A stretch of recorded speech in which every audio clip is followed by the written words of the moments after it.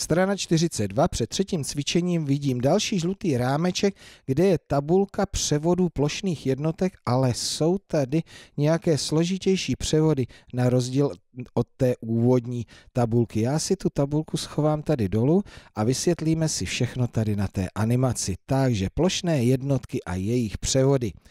Přehled plošných jednotek, a při jejich převody, tak tohle to už známe, to, to bylo na tom cvičení 1 a my si to zopakujeme. Takže 1 cm čtverečný rovná se 100 mm čtverečných, 1 decimetr čtverečných rovná se 100 cm čtverečných a 1 metr čtverečný rovná se 100 decimetrů čtverečných. Tohle je ten základ, to jsou ty základní převody, ale jak byly ty složitější?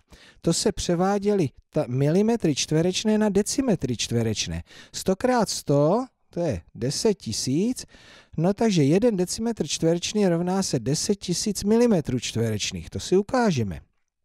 Čtverec o straně 1 decimetr, takže jeho obsah 1 decimetr krát 1 decimetr rovná se 1 decimetr čtverečný.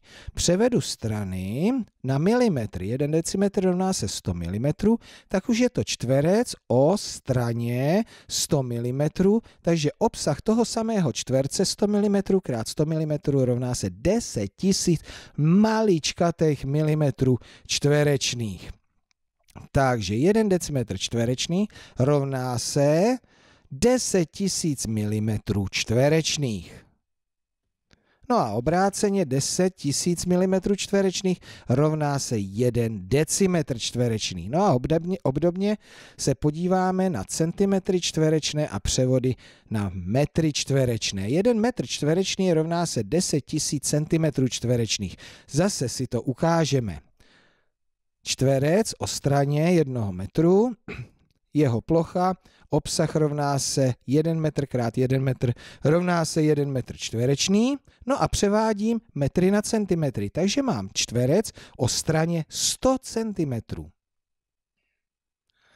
No a obsah toho samého čtverce je tedy 100 cm krát 100 cm rovná se 10 000 cm čtverečných. 1 metr čtverečný rovná se 10 000 cm čtverečných, no a obráceně 10 000 cm čtverečných rovná se 1 metr čtverečný. Takže jsme si tu složitější tabulku vysvětlili. Tady máme celý přehled. No a jdeme na první, ne, na třetí cvičení. Tak, přečteme si zadání, převedte jednotky a já si tady vyndám tu tabulku, co jsem si tady schoval, protože tam mi nyní pomůže. Tak, 4 metry čtverečné rovná se centimetry čtverečné kolik. Tak, kde jsem? Metry čtverečné převádím na centimetry čtverečné. Centimetr čtverečný je daleko menší jednotka plošná než metr čtverečný, proto je jich víc a je jich 10 tisíckrát víc. Takže 4 metry čtverečné rovná se, když násobím 10 tisíci, přidávám 4 nuly, 40 tisíc centimetrů čtverečných.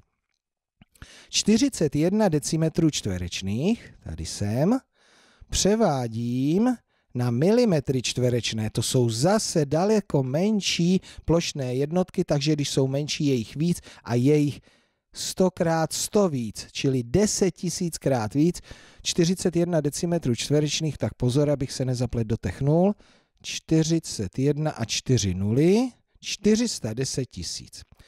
560 tisíc centimetrů čtverečných na metry čtverečné. Jsem tady.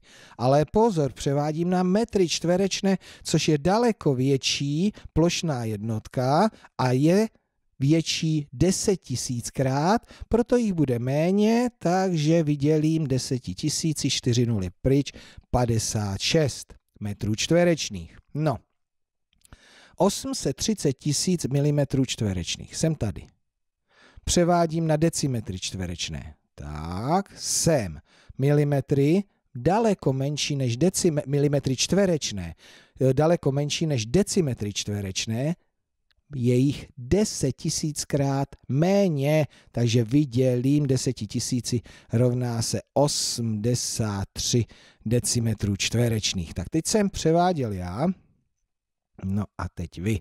Tak tyhle ty dvě chviličku počkáme. Tak, převádějte. Jste tady a převádíte sem. Násobíte nebo dělíte? Mhm, jsou menší, takže jich je víc. 850 tisíc. Tak, jste tady?